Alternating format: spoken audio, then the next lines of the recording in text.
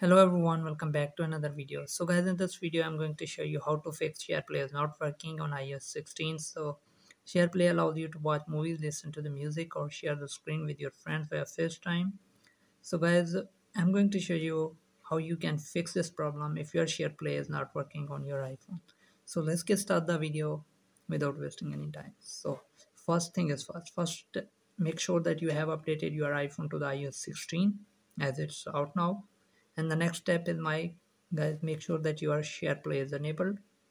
And uh, if you don't know how to enable it you can go to the facetime and enable your share play. And make sure that you check your app which your app are using. So make sure that app is supports your share play. And uh, also check the participant's device. Then the guys next step is and make sure that you have the good internet connection. And you can test your speed like on the fast.com you can test your internet speed here make sure that you have a good internet connection. So the next step is guys force restart your device. You need to restart your device once.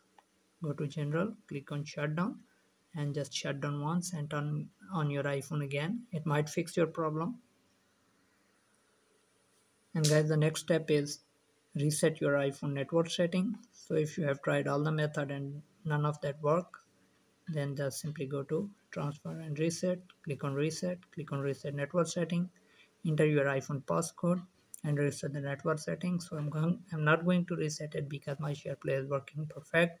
So uh, so after all these steps if your uh, share play is not working then go to the setting click on screen time click on content and privacy restriction click on allowed app and see if there is share play is allowed. If it's not just turn it on. So guys after all this step your share, share play should be working.